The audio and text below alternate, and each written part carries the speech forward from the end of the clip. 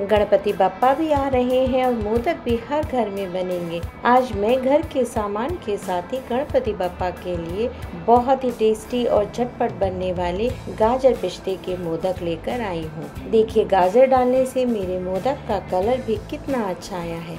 Hello friends welcome to my channel Rachna की रसोई। अगर आपको मेरी रेसिपीज़ पसंद आती हैं तो उन्हें लाइक और शेयर करें। और अगर आप मेरे चैनल पर नए हैं तो प्लीज़ मेरे चैनल को सब्सक्राइब करें। तो चलिए हम झटपट बनाना शुरू करते हैं। गाजर और पिस्ते के मोदक। अब एक कढ़ाई लें, उसमें वन टेबल स्पून घी डालें। जब घी अच्छे से गर्म हो जाए, तब हम एक कप कद्दूकस की हुई गाजर, यानी 200 ग्राम के करीब गाजर लेंगे और इसको मीडियम लो फ्लेम पर दो से तीन मिनट तक लगातार चलाते हुए हम भून लेंगे।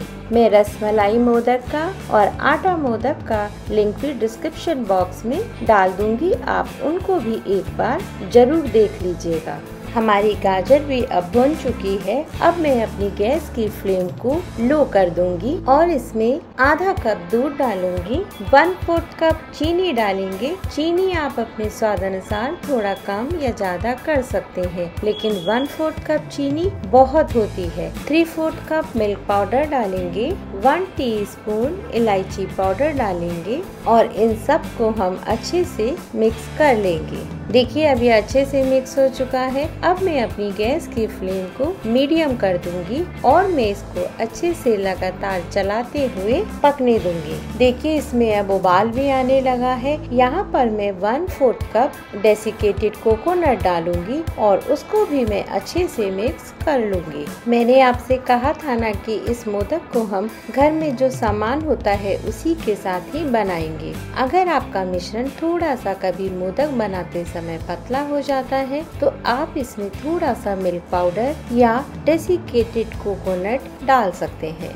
देखिए, हमारा मिश्रण धीमे धीमे अब गाढ़ा होने लगा है। हमें बस इसको इसी तरीके से लगातार चलाते हुए ही भूनना है। मुझे चार से पाँच मिनट हो चुके हैं इस मिश्रण को भूनते भूनते देखिए, अब ये काफ़ी गाढ़ा हो चुका है। यहीं पर मैं टू टेबल स्पून बारीक कटा हुआ पिस्ता डालूँगी, क्योंकि ये गाजर पिस्ते का मोदक है तो इसमें हम पिस्ता भी थोड़ा सा ज़्यादा ही डालेंगे। देखिए, पिस्ता डालते ही हमारे मिश्रण का कलर कितना अच्छा लग लगने लगा है। बस इस मिश्रण को हम तब तक भूनेंगे जब तक ये कढ़ाई में इकट्ठा ना होने लगे, यानी कि ये कढ़ाई ना छोड़ने लगे। देखिए, अब ये धीमे धीमे इकट्ठा होने लगा है। बस अब मैं अपनी गैस को बंद कर दूँगी और इसको किसी प्लेट में निकाल कर ठंडा होने के लिए रख लूँगी। हम इसको प्लेट में अच्छे से फैला लेंगे, जिससे कि ये जल्दी ठंडा हो जाए। मिश्रण ठंडा हो चुका है। देखिए, ये मोदक के मोल बाज़ार में आजकल बड़ी आसानी के साथ मिल जाते हैं। आप ऐसा ही एक मोल ले लीजिए और इसको अंदर से घी के साथ अच्छे से ग्रीस कर लीजिए।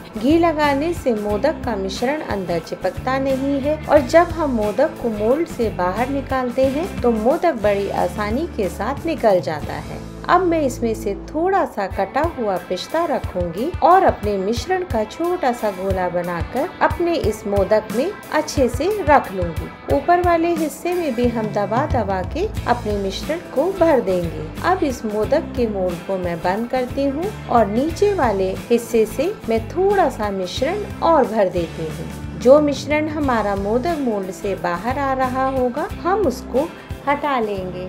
और अपने मोदक मोल्ड को एक बार कस कर, प्रेस कर कर हम इस मोदक मोल्ड को खोलेंगे और बड़ी सावधानी के साथ हम अपने मोदक को बाहर निकाल लेंगे। देखिए, हमारा मोदक बनकर बिल्कुल तैयार है। कितना सुंदर लग रहा है। इस गणपति, आप भी इस मोदक को ज़रूर बनाइएगा। मैं आपको एक और मोदक भी बनाकर दिखा देती हूँ। पहले हम अपना बारीक कटा हुआ पिस्ता रखेंगे, फिर हम अपने मिश्रण को रखेंगे और अपने मोल्ड को हम बंद कर देंगे। देखिए, जो एक्स्ट्रा था, वो सब मैंने हटा दिया है। अब थोड़ा सा मिश्रण हम नीचे से और भर देंगे। अब मैं इसको खोल कर भी दिखा देती हूँ। अरे वाह! देखिए, कितना बढ़िया मोदक निकला है। बस इसी तरीके से मैं अपने सारे मोदक बना लूँगी। आप भी इन मोदक को ज़रूर बनाइएगा। ये बनाने में भी बहुत आसान है और स्वाद में तो इनका क्या कहना।